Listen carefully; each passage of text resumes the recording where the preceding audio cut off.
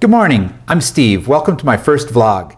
I know, I'm old, I'm ugly, but listen to these numbers. In a recent Nerdfighter survey of 128,807 people, I was one of only 302 people in the 55 plus age category. If you look at people 45 and up, there are still under 1,000. That's less than 1%. And registering for this week's VidCon, the top age group wasn't at 55, but only 51 and over.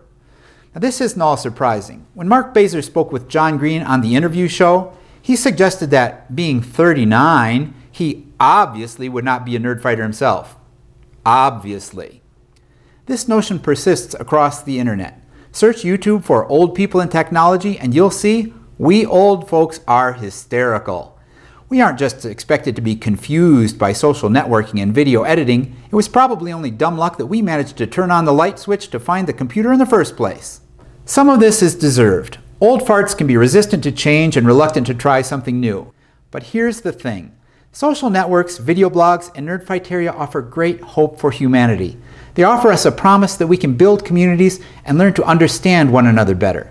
We can find respect for others' talents, skills, knowledge, and potential. In short, as John himself might say, to imagine and understand each other more complexly. But the danger lies in allowing these communities to become cloisters. If we turn our social networks into echo chambers, whether that's YouTube, Facebook, Twitter, Tumblr, or whatever, if we only listen to people who look, sound, and think like us, then we haven't gained from the internet, we've let it limit us.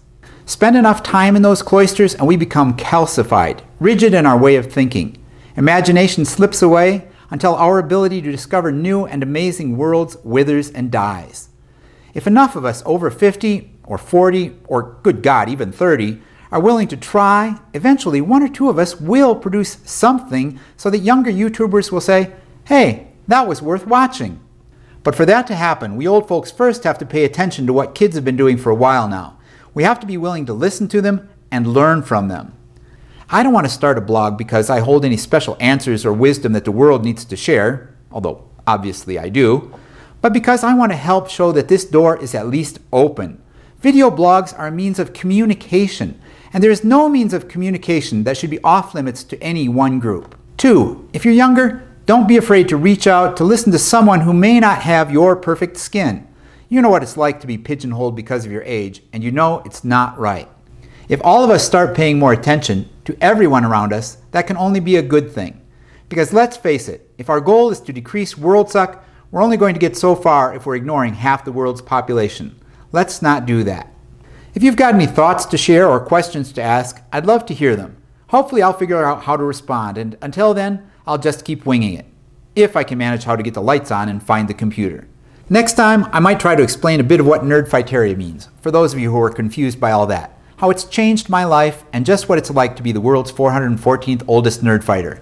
Till then, show somebody you love them. And I'm sorry, especially if this is like copyrighted, but there's no better sign off I can come up with. So, you know, DFTBA.